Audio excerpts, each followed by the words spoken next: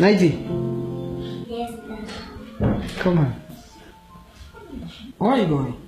I'm going to church. Mom is waiting for me. Look, I don't understand this your everyday church behavior. Can I ask you something? Can you see God? No. Can you touch God? No. So you see, there is no God.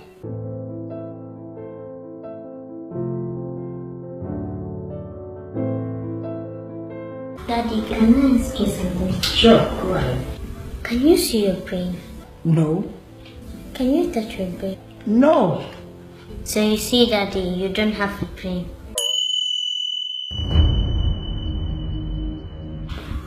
Bye, Daddy.